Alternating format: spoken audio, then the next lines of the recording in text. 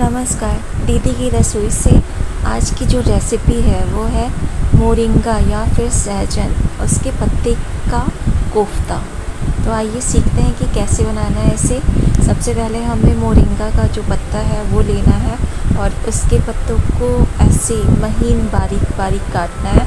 उससे पहले हमें इसे धुल लेना है अच्छे से कि इसमें कोई भी कीड़े या फिर मिट्टी वगैरह ना हो। इसके बाद फिर महीन काटने के बाद इस पर हमें हल्दी आजवाइन और चिली पाउडर या फिर कुटी मिर्च इसमें डालनी है। नमक स्वाद अनुसार हींग और बेसन आपको डालना है। इसके बाद इतना ही बेसन डालना है कि जिससे उसके छोटे छोटे गोले बनाए जा सके। अब उसको हमें अच्छे से मिलाना है और हल्का सा पानी डालकर ऐसा उसका तैयार करना है दो उसके छोटे छोटे गोले बन जाए। तो आप जैसे कि देख रहे हैं, हमें इसको अच्छे से मसल के और इसका एक डो तैयार करना है और इसके बाद हम इसके छोटे छोटे गोल बना, गोले बना लेंगे। अब ये मैंने उसको रेस्ट के लिए छोड़ दिया कि वो सॉफ्ट हो जाए। अब हम एक साइड इसके ग्रेवी के लिए प्याज बारीक बारीक कट कर लेंगे। और टमाटर लेना है, लहसुन लेना है, अदरक लेना है, इन सभी को हमें बारीक कट करना है, जैसा कि आप देख रहे हैं। और इसके बाद हमें इसका पेस्ट बना लेना है। प्याज का और लहसुन का एक साथ पेस्ट बनाया हुआ है। इसके बाद हमें टमाटर को कट करना है और टमाटर को कट करने के बाद उसको भी, उसकी प्योरी बनानी है, उसको भी पीस लेना है अच्छे से। और उसको पीस के फिर हम उसको भी अलग से रख लेंगे। इसके बाद हमें कढ़ाई में तेल डालना है और जो हमने डो बना के रखा हुआ था मोरिंगा के पत्तों का, उसको सॉफ्ट हो चुका है। अब उसके छोटे छोटे गोले बना के आपको जैसा सेप पसंद हो वैसा आपको लेना है। अगर आप चाहे तो गोल बना सकते हैं या फिर उसको हल्का सा चपटा कर के उसको फ्राई करना है टिक्की के सेप में और उसको आपको मीडियम आँच पे ऐसे फ्राई करना है जब तक कि ब्राउन ना हो जाए। और जैसा आप देख रहे हैं कि यहाँ पे फ्राई हो रहा है। ये खाने में बहुत ही टेस्टी होते हैं। टेस्टी के साथ ये बहुत ही हेल्दी भी होते हैं, आपके स्वास्थ्य के लिए बहुत ही अच्छा माना जाता है ये जो मोरिंगा के पत्ते होते हैं। और डायबिटीज़ जिसको होता है, उसके लिए भी ये बहुत फ़ायदा करता है।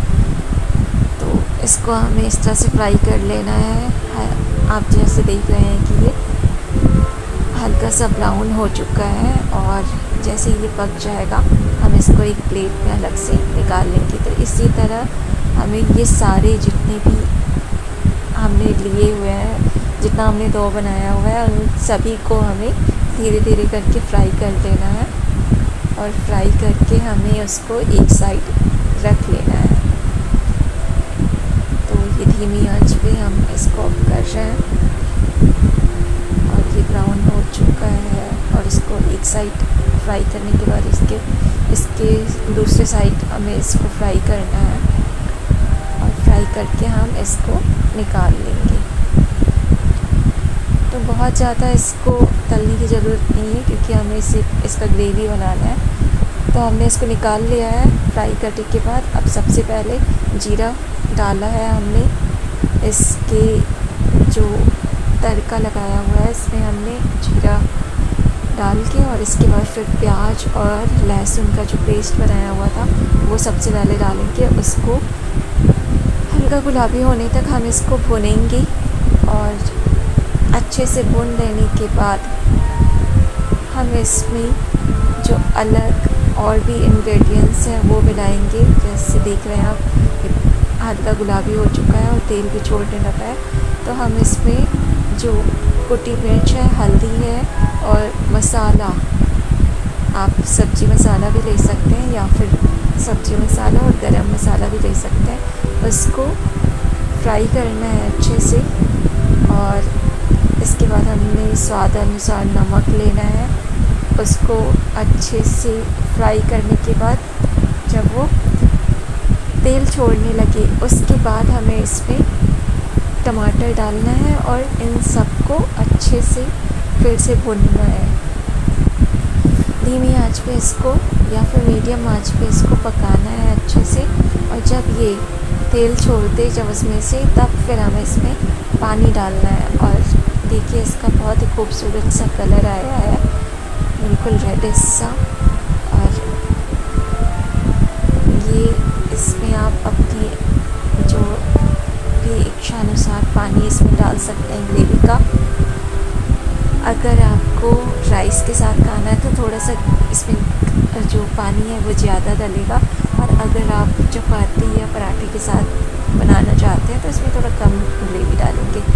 जैसे इसमें उबाल आ जाएगा बॉयल हो जाएगा ये तो इसमें हमें जो हमने बना के रखे हुए थे, कोफ्ते सहजन के पत्ते का, वो सारा इसमें हमें डाल देना है। और इसको अच्छे से पकने देना है कि इसमें जो ग्रेवी है वो पूरा अच्छी तरह से उसके अंदर चला जाए और जो हमारा कोफ्ता है वो बिल्कुल अच्छी तरह से पक जाए। और ये देखिए जैसे ये पक रहा है अच्छे से। इसमें उबाल आ गया है और अब ये बिल्कुल अच्छी तरह से पक चुका है। अब हम इसे आँच से हटा देंगे जब ये पक जाएगा अच्छी तरह से तो हम इसको निकाल देंगे और ये बिल्कुल सर्व करने के लिए तैयार हो चुका है। जैसा ये देखने में लग रहा है, बहुत ही खूबसूरत सा रेसिपी वैसा ही ये खाने में है और हेल्दी भी होता है। तो आप इसे ट्राई